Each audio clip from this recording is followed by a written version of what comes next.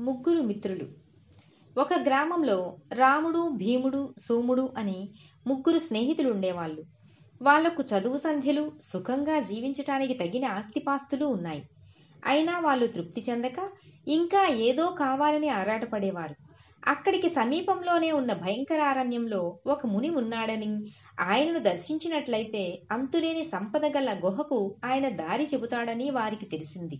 వెంటనే మిత్రులు ముగ్గురూ బయలుదేరి భయంకరారణ్యంలోకి ఎన్నో బాధలు పడుతూ ప్రయాణం చేసి ముని ఆశ్రమం కనుక్కుని ఆయనకు ప్రణామం చేసి గుహకు దారి అడిగారు.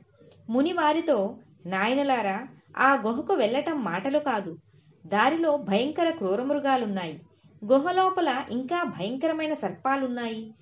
ఈ రాత్రికి మా ఆశ్రమంలోనే ఉండి రేపు ఏం చేయాలో నిర్ణయించుకోండి అంటూ ముగ్గురికి మూడు కుటీరాలను చూపించాడు. వాళ్ళకు సపర్యలు చేయటానికి ముగ్గురు అప్సరసల లాంటి మునికన్యలు నియోగించబడ్డారు. రాముడు భీముడు తమకు సేవలు చేసిన స్వయంప్రభను రత్నమాలను చూసి ముగ్ధులై వారిని వివాహం చేసుకుంటే తమ జన్మలు ధన్యమవుతాయని.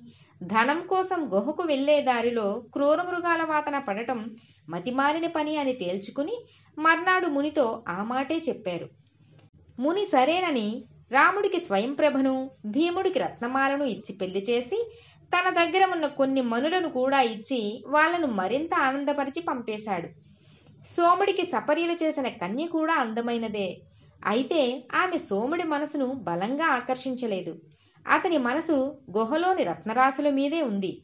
ఆ సంగతి గ్రహించిన ముని అతనికి గుహకు వెళ్ళే దారి చెప్పి జాగ్రత్తగా ఆత్మరక్షణ చేసుకో అని హెచ్చరించాడు. సోముడు క్షేమంగానే గుహకు చేరుకున్నాడు. అతనికి దారిలో భయంకర ప్రమాదాలేవీ తటస్థపడలేదు. అతను గుహ నుండి తాను మోయగలిగినన్ని మణిమాణిక్యాలు తీసుకుని తన గ్రామానికి తిరిగి వెళ్ళక నగరంలోనే పెద్ద భవంతిని కట్టించుకుని దాస దాసీజనంతో రాజవైభోగంగా జీవించసాగాడు. కొంతకాలం ముగ్గురూ తృప్తిగానే జీవించారు. అయితే రాముడిలోనూ భీముడిలోనూ అసంతృప్తి తలెత్తింది. భీముడి భార్య తన భార్య కన్నా అందమైనదిగా రాముడికి అనిపించేది రాముడి భార్య తన భార్య కన్నా అందమైనదిగా భీముడికి అనిపించేది ఒకరోజు వాళ్ళిద్దరూ కలుసుకుని మనకన్నా సోముడు చాలా అదృష్టవంతుడు. వాణ్ణి ఒకసారి చూసి వద్దాం అనుకున్నారిద్దరు వాళ్ళు వెళ్ళేసరికి సోముడి ఇల్లు రాజభవనంలా ఉంది. అక్కడ దాసీలు రంభను తలదన్నేలాగా ఉన్నారు. అయితే సోముడి ముఖంలో మాత్రం ఆ ఆనందం కనిపించట్లేదు. రాముడు భీముడు ఒక వారం రోజులు సోముడితో గడిపి మేం ముని ఆశ్రమానికి వెళుతున్నాం. అక్కడ మాకు కొంచెం పని ఉంది అన్నారు. సోముడు కూడా తాను కూడా వస్తానని తనకు మునితో పని ఉందని అన్నాడు. ముగ్గురూ కలిసి ముని ఆశ్రమానికి వెళ్ళారు. ముని ముగ్గురి ముఖాలలోనూ అసంతృప్తిని గమనించి వారికి వేరువేరు కుటీరాలిచ్చి ఒక్కొక్కరిని విడివిడిగా కలుసుకుని ప్రశ్నించసాగాడు. రాముడు ఆయనతో మీరు నన్ను గుహకు వెళ్ళకుండా భయపెట్టారు. అందమైన రత్నమాలను భీముడికి సామాన్యమైన స్వయంప్రభను నాకు ఇచ్చారు అన్నాడు.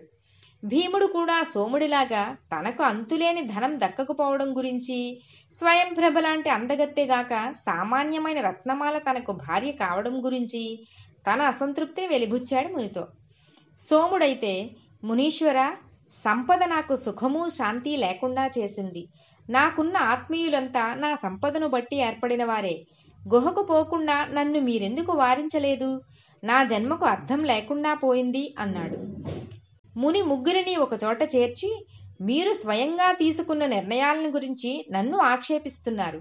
మీలో ఎవరినీ నేను గుహకు పోవద్దనలేదు. మీ భార్యలను కూడా మీరే ఎన్నుకున్నారు. కానీ మీకు సంతృప్తి లేదు. మీకు కావలసినది సంతృప్తి అయితే మీకు ఉండిన దానితోనే సంతృప్తి పడి ఉండవచ్చు. నాదాకా రానవసరం లేదు. ఇప్పటికైనా మించిపోయింది లేదు. మీ మనసును మార్చుకుని ఉన్నదానితో సంతృప్తి పడటం నేర్చుకోండి అన్నాడు ముని. తమ భార్యలు ఇతరుల కళ్ళకు అందంగా కనిపిస్తున్నారని తెలియగానే రాముడు భీముడు తిరిగి తమ భార్యల అందం గ్రహించగలిగారు.